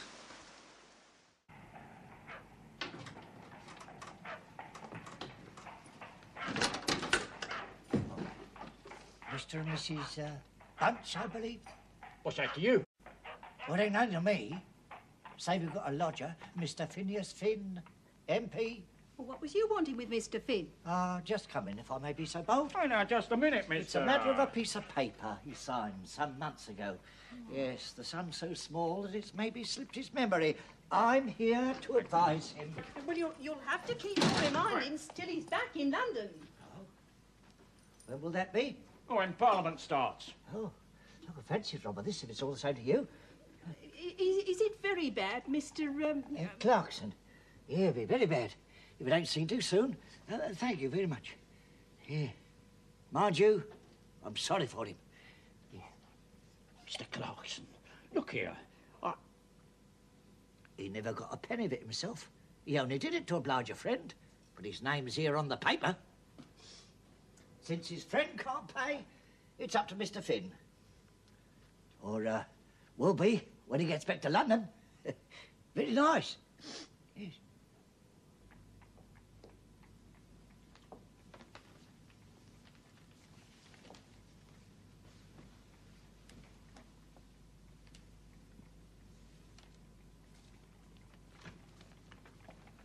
Mr. Phineas Finn. Ah. Finn. Mr. Finn, here we are, an old married couple since you last saw us. Looking very well on it. I congratulate you both most heartily. You really are a very lucky fellow. Thank you, Finn. Do sit down. Thank you. We both wish you to know that no house of ours will ever be so full or so empty that we shall not welcome you. Thank you.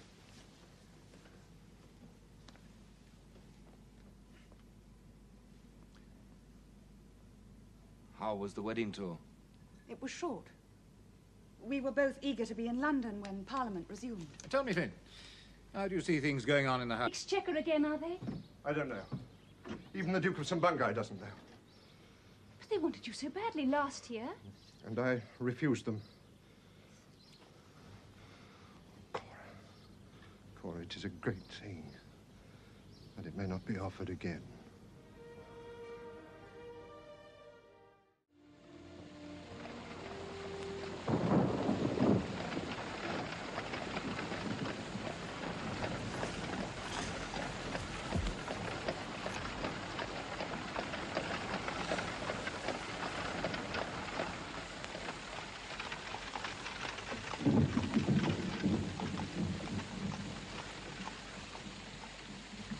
How much to 24 Park Lane? 24 Park Lane, it's only just down the road. I know, but how much to take me there? Sixpence. Right. The important thing is to arrive in style.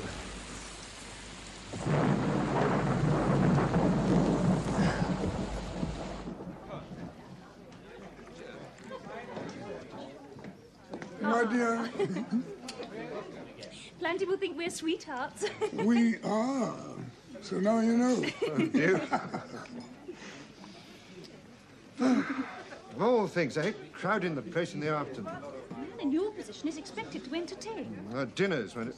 Uh, who's this? Lady Laura Standish. Lady Laura. Mr. Lady Kennedy. Laura. Lady Glencora. Kennedy. Aliza? Dinners for a few friends, now aren't they? That'd be quite enough. A public statesmen must have a great many friends. So if many, then none. Uh, Mr. Monk, I don't think you've met my wife, Lady Glencora. Mr. Monk? Lady Glencora. Oh, Barrington. Barrington. See, if it wasn't for this affair, now, you could be upstairs with the baby. Plantair was with the baby the whole morning until he was sick of the sight of it. Lady Glencora. Ah, Mr. Fitzgibbon. That is that, Mr. Fitzgibbon. And apart from anything else, I should be at work. You are at work. Madam Goesler. Mr. Palliser. Madam Goesler. Heaven's sakes, Plantagenet, smile. This is not your funeral. It's the very first party you're giving as Chancellor of the Exchequer.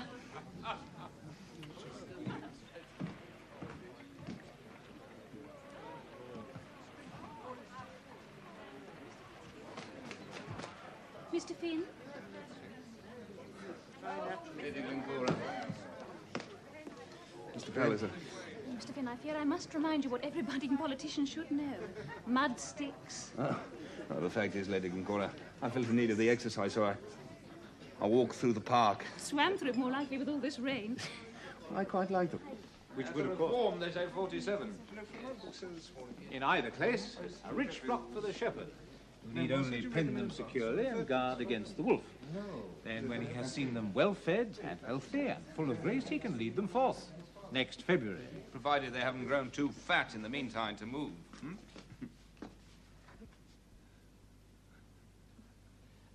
Does anyone think of a 70 but Mildmay? You see, I heard he saw his physicians this morning.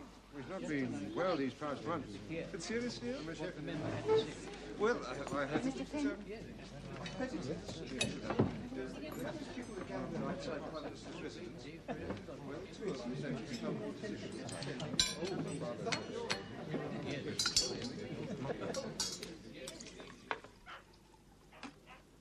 Very nice, my dear. And out to do with a mouthful of cheese. Oh, you could, could you? Yep. Well, there ain't none. Why not? Because the money that would have bought it has been given away, Mr. Bunce. Given away by you to that dratty trade union. And it pays a shilling a week. Yeah, well, that's a shilling a week less to feed your belly with. You can't have it both ways. Mr. Finn keeps getting beef tea. Yes, what he pays for as a lodger. Yeah, and he don't pay so regular neither. Oh, never you mind about him. He pays regular enough, Mr. Finn does. Anyway, don't go fraying his money away on no trade union. You'll be hearing about them before long. They all will. That Parliament lot. Oh, do hold your silly tongue, Bunce. Leave all them politics to your betters. Like your uh, precious Mr. Phineas, I suppose. Don't you go sneering at him either. He's a good, kind, gentle boy. And he's made his own way to where he is. Yes, he's made his own way fair and square. So far. But it all depends, my dear, on what direction he takes now. Does he do his duty and follow his conscience? Or does he just go dining and whining about the Lord of this and the Marquis of that and clean forget what he's in politics for? Been no particular report. No. I tell you why, I would like some preliminary discussion at Decimal Council before the end of the session. Well, as Chancellor, you'll have a lot on your hands. Perhaps after the launching of the new reform bill. Timing on a measure of that kind is going to be crucial. Ah, it is indeed. I think you might be well advised. Where do you stay in London, Miss Effingham? Oh, in this house as often as not. You see, Mr. Finn, I am an orphan. My father was a dear friend of Lord Brentford's. Ah, Lord Brentford is your guardian, perhaps. No, unfortunately not. No, my guardian is an aunt.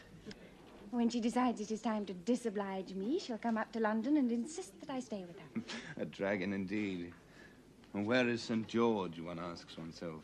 Hmm? Still in his tent, Mr. Finn, preening himself in his armor. Mr. Finn's getting about a bit. He has a way of making himself agreeable. So I've noticed. Very clever at spreading himself about. Well, they do say Lady Glare... Very lucky fellow. Thank you, Finn. Do sit down. Thank you. We both wish you to know that no house of ours will ever be so full or so empty that we shall not welcome you. Thank you.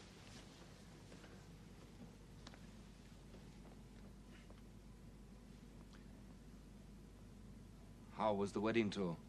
It was short. We were both eager to be in London when Parliament resumed. Tell me, Finn, how do you see things going on in the house? Oh, it's all mainly...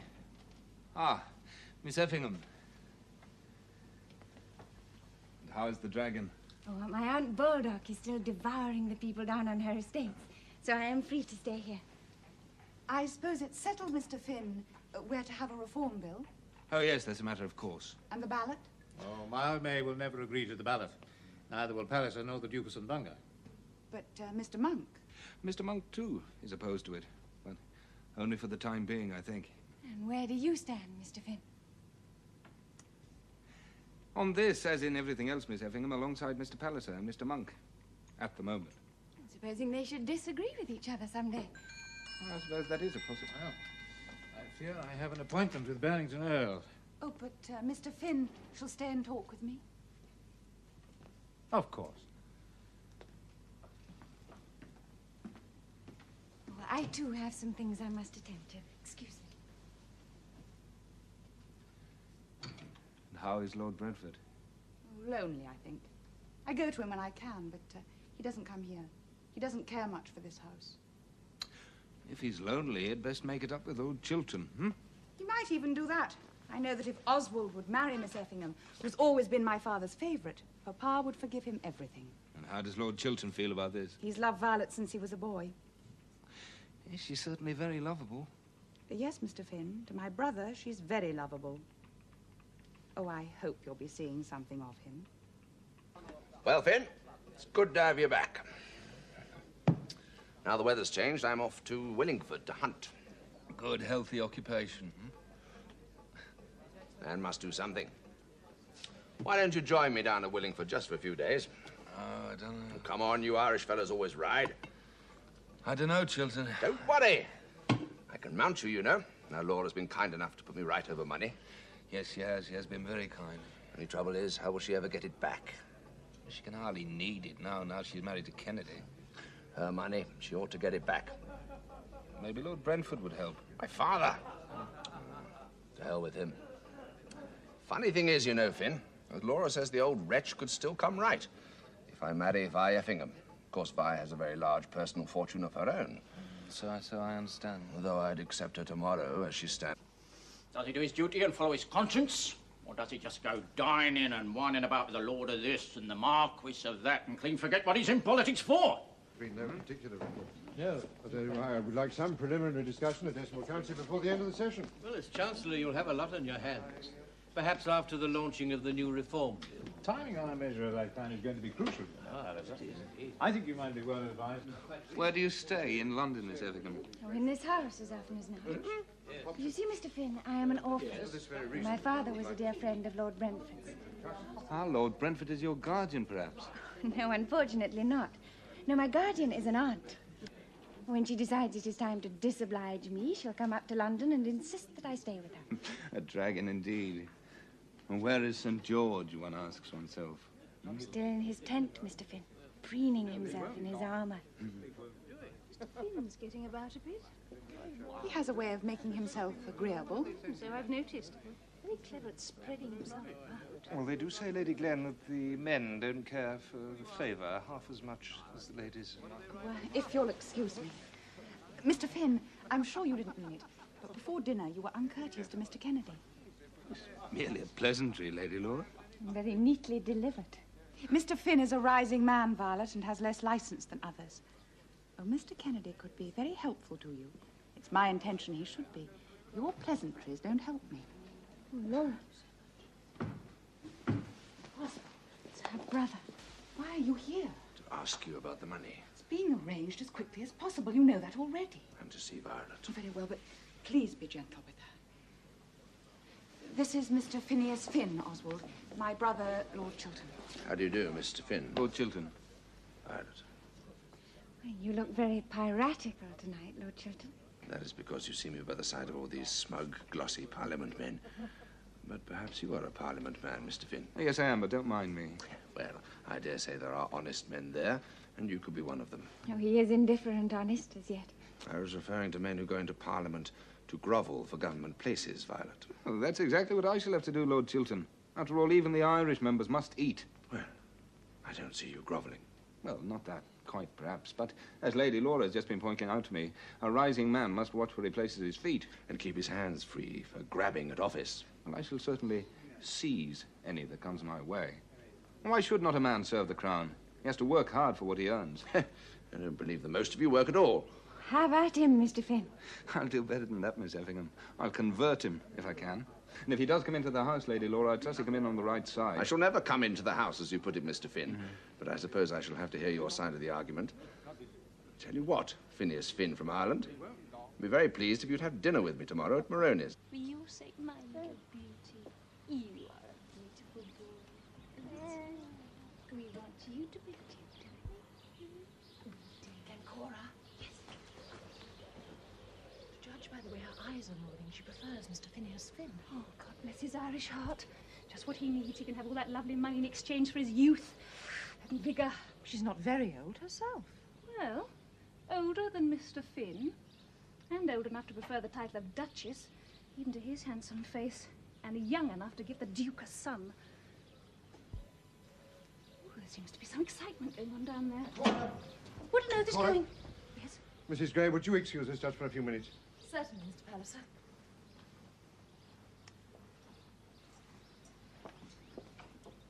what is going... My dear, there is to be a change of ministers. Her Majesty has called for Mr. Mildmay, and we all go back to London tomorrow. But what about Little Platt? They're not going to ask you to take the exchequer again, are they? I don't know. Even the Duke of St. Bungay doesn't know. But they wanted you so badly last year. And I refused them. Cora, it is a great thing. But it may not be offered again.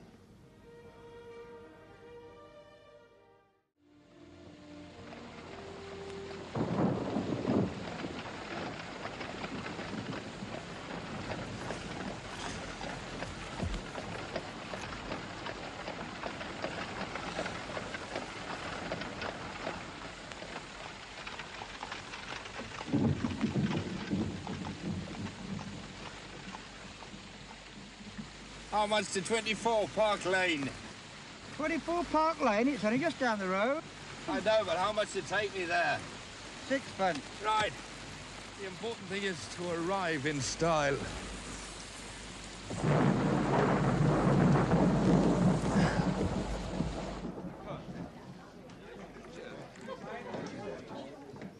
My dear,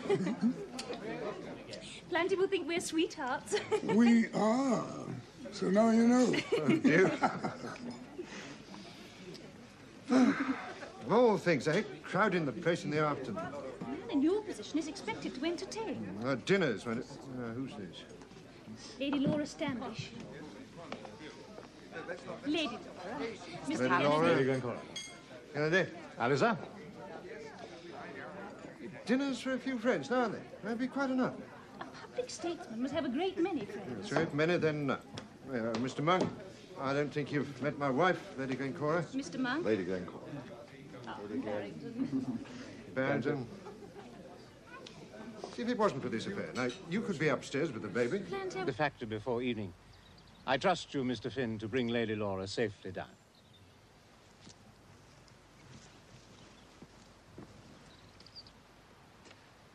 I think on the whole he's as good a man as I know. He would share your opinion. You will not make me change it.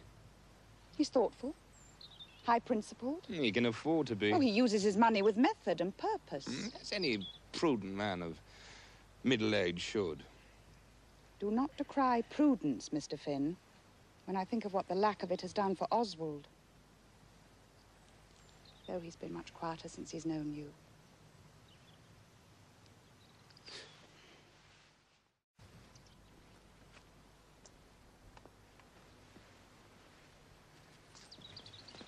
Oswald tells me he hopes you'll travel with him this autumn. Mm, I'm afraid I'll have to disappoint him. To be honest, I haven't got the money. I like your honesty, though I'm sorry for Oswald's sake.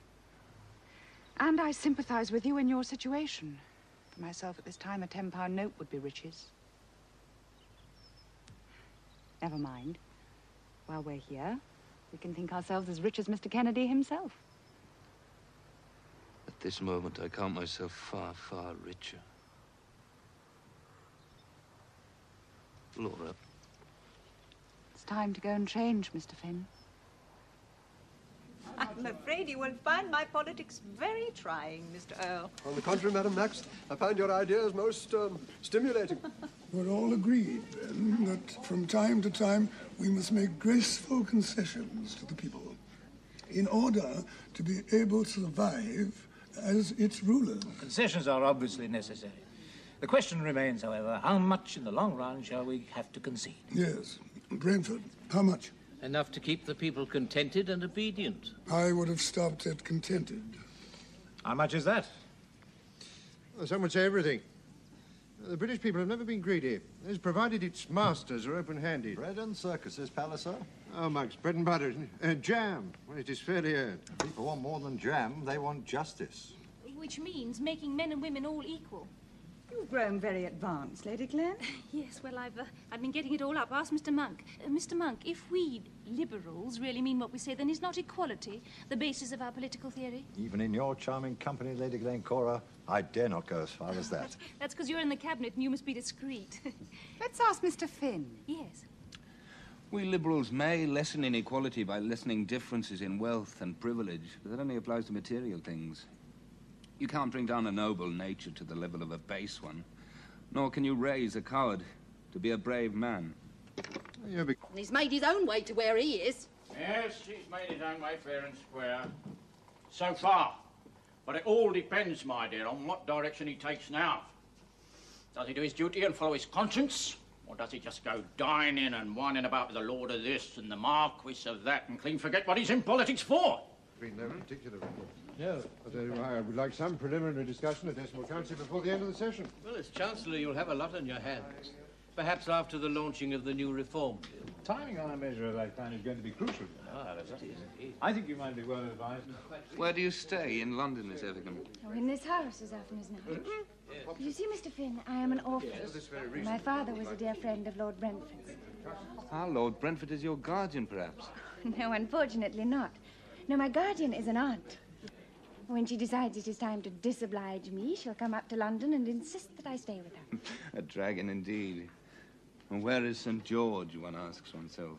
Hmm? Still in his tent, Mr. Finn, preening himself in his armor. Mr. Finn's getting about a bit. He has a way of making himself agreeable. So I've noticed. Very clever at spreading himself about. Well, they do say, Lady Glen, that the men don't care for the flavour half as much as the ladies. Well, if you'll excuse me. Mr. Finn, I'm sure you didn't mean it, but before dinner you were uncourteous to Mr. Kennedy. Merely a pleasantry, Lady Laura. Very neatly delivered. Mr. Finn is a rising man, Violet, and has less license than others. Oh, Mr. Kennedy could be very helpful to you. It's my intention he should be. Your pleasantries don't help me. Lord. It's her brother. Why are you here? To ask you about the money It's being arranged as quickly as possible. You know that already. and to see Violet. Very well, but please be gentle with her. This is Mr. Phineas Finn, Oswald. My brother, Lord Chiltern. How do you do, Mr. Finn? Lord Chiltern. Violet. You look very piratical tonight, Lord Chiltern. That is because you see me by the side of all these smug, glossy Parliament men. But perhaps you are a Parliament man, Mr. Finn. Yes, I am, but don't mind me. Well, I dare say there are honest men there, and you could be one of them. Oh, he is indifferent honest as yet. I was referring to men who go into Parliament to grovel for government places, Violet. Well, that's exactly what I shall have to do, Lord Chiltern. After all, even the Irish members must eat. Well, I don't see you groveling. Well, not that quite, perhaps, but as Lady Laura has just been pointing out to me, a rising man must watch where he places his feet. And keep his hands free for grabbing at office. Well, I shall certainly seize any that comes my way. Why should not a man serve the crown? He has to work hard for what he earns. I don't believe the most of you work at all. Have at him, Mr. Finn. I'll do better than that, Miss Effingham. I'll convert him, if I can. And if he does come into the house, Lady Laura, I trust he'll come in on the right side. I shall never come in. It's a long time to be patient. Shirts, handkerchiefs, underwear. What about a cravat, Mr. Phineas? Haven't got the right kind, Mrs. Bunce. Oh. But it's all right. Mr. Fitzgibbon's going to lend me one. Oh. um, stud box, nightshirt, shaving things. Now then, uh... Well, they'll do, Mr. Phineas. But only just. Are you sure you can't afford new ones for best? It's a great thing, you know, going to this palace at christening. I know, Mrs. Bunce, but those will have to do. Mr. Fitzgibbon, sir. Hello, Finney. Hello, Mrs. B. That cravat you wanted. Oh, what have we got here? Now, let's see. Um. Well, I suppose you'll get away with them. Awful lot of fuss and clobber just to wet a baby's footer. Eh? Not just any baby, Bunce. This one stands to be a duke one day. what I say is, a baby's a baby. It's all very well for you, Mr. Fitzgibbon, but you've come from those sort of people yourself. Bunce! But I'm sorry, Mr. Finn's been invited down amongst all them lords and earls. And the Prince of Wales. They won't eat me, Mr. Bunce. That's just what they will do, in their way. I'll speak you fair, soften you up, make you one of themselves. That's why they're so clever. Now, you're a plain doctor's son, Mr. Finn. And it's your job and your duty to stand up and speak for the poor and humble. Now you've got the chance. Oh, hush up, do, Bunce. Make yourself useful.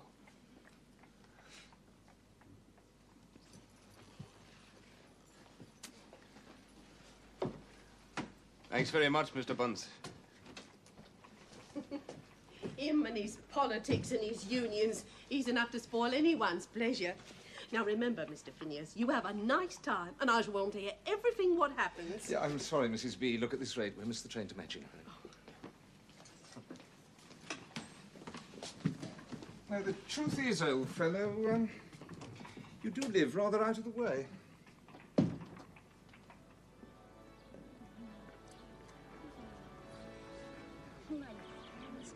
What mercy he's a boy, Alice. I'm sure that Mr. Palliser would not have said a word against a girl. I think Mr. Palliser would have been as gentle as a dove. Ah. Oh, good afternoon, Fitzgibbon, my dear. I, I don't think you know Mr. Finn. Oh, so you're Mr. Finn. I've heard about you.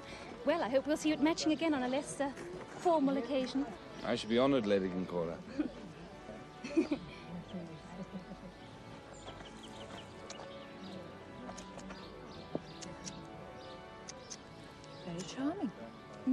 charming as my boy. mm, little beauty. Yes, you are. Well, now, Finny, my lad. I bet you never saw so many bishops to christen one baby. I'll be blowed if I know why the palace has asked me. Phineas Finn, penniless barrister from Ireland.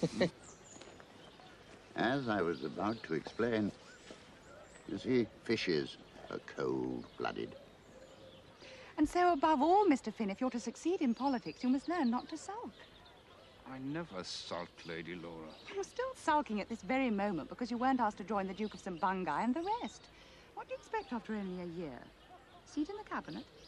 I'd fill it better than that stick Kennedy. Mr. Kennedy has sound opinions and considerable influence. It can be of use to you if you try to stand well with him. You wish me to try, Lady Laura? I wish you to succeed, my friend, in this and in all things.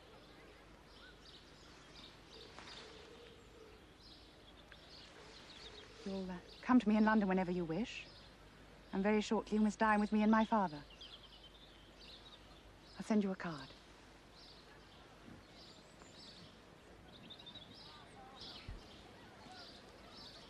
I never really had any faith in him. Didn't think he'd stay the course. What do you think, Kennedy? No, on the contrary. Hey. Duke? Thank you.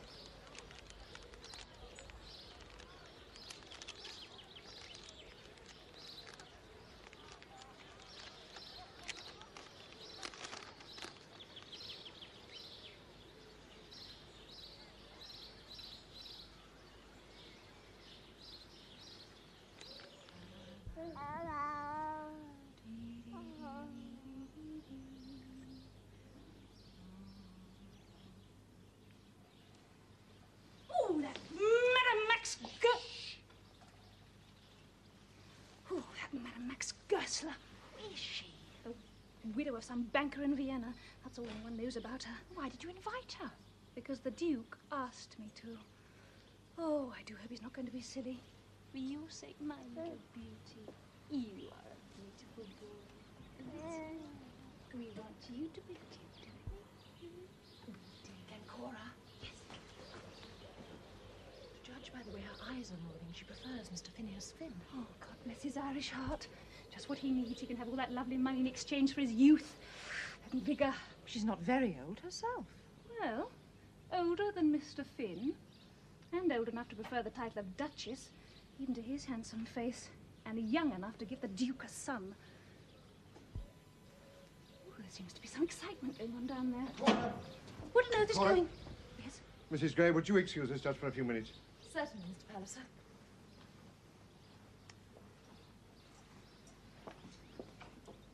What is going... My dear, there is to be a change of ministers. Her Majesty has called for Mr. Mildmay, and we all... Is Master Finn? Yes, I suppose so. But he's Irish, and the Irish always like to ride fast. I like a man to ride a straight course. So he may do. One thing at least is certain. Phineas Finn has got bottom. Phineas Finn has got what? Bottom, Palliser. An equestrian expression for a determined rider. Oh, indeed. Well, surely a lot depends on a man's mount. Uh, what has Finn got to carry him on his way? Brains and charm. Yes, but no money, that's for sure. Although he could find some if he chose to look about him. I must say, Lady Glen's put on a damn good show for her first do in London. Asked all the right people, too. Rather too much cake, though. I must tell her to get more sandwiches. Mr. Longstaff? Madam Max, and I'm sure you remember. Yes, of course I remember. Phineas Finn. well, gentlemen, here we are back in London with a new government and great things to be done. Not too many things, I hope. Oh, for shame, Mr. Longstaff. We are all reformers here. Mr. Finn is burning to do great things, are you not, Mr. Finn?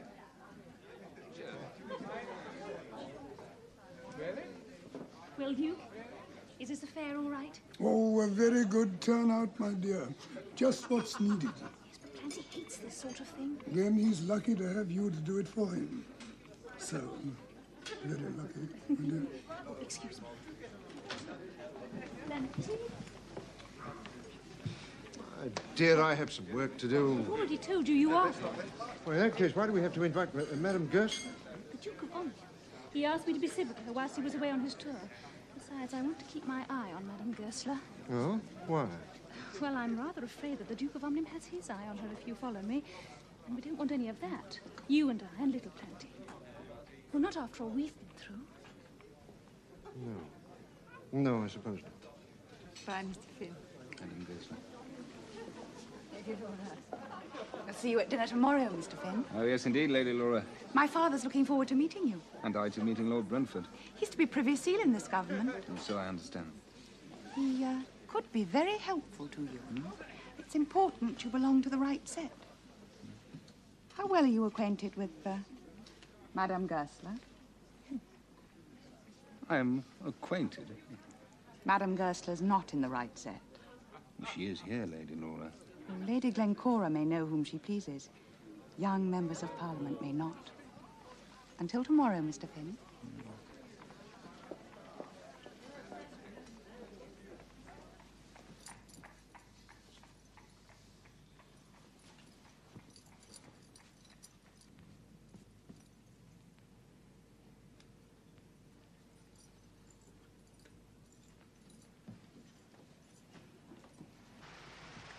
Dr. Finn! Dr. Finn! Dr. Finn, Ah, good day to you, Mary. what news? What news of Phineas, Dr. Finn? Has he not written to you, Mary? Not for some time. I, I read in the paper he was going to stay in some castle in Scotland. Oh, aye. Loughlinter. The Chancellor of the Exchequers there, Mary. Another big man. And ladies? No, well, now, I wouldn't be knowing about that, Mary. Now, Phineas is there for the politics, I think. A lot of the politics is done away from Parliament, you know, in great houses like this one. It's good that Phineas is asked there. He'll make important friends. Has he no friends here in Ireland, then? Oh, no, he'll be coming home here soon enough. And then for the whole autumn until Parliament begins again in February. Will you be pleased to see him, Mary?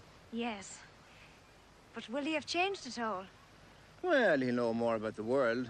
He'll be having some news to tell us. We could do with hearing something new in Killaloe, now could we not? We do very well as we are, I think. If you write to him, Doctor, tell Phineas good wishes from Mary Flood. Oh, I'll not be writing to him again before he gets home, Mary. You may give me your wishes then. Welcome. on. Come on, Come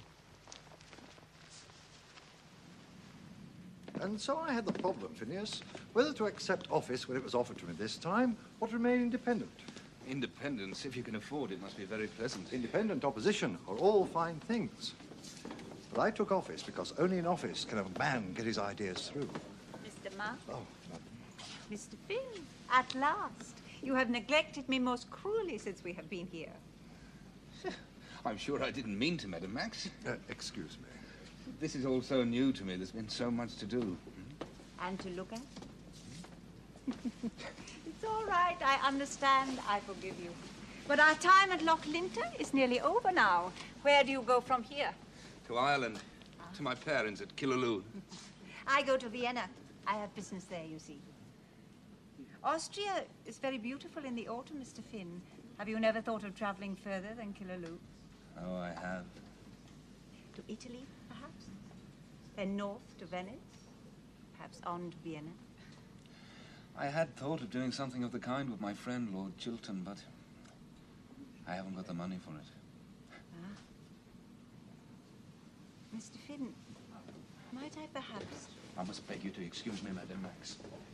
Lady Laura.